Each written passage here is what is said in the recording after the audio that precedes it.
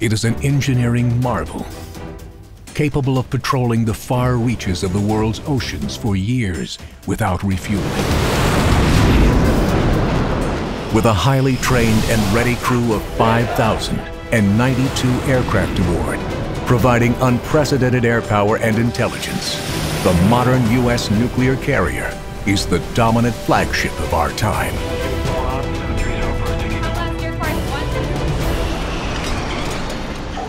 But providing the peace and security of the world's vast oceans has become far more complex and dangerous, requiring the combined strength and cutting-edge technology of the world's allied navies.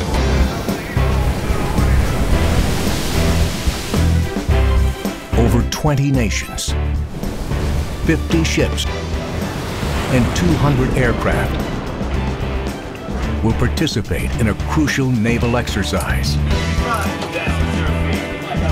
led by the mightiest ship in history.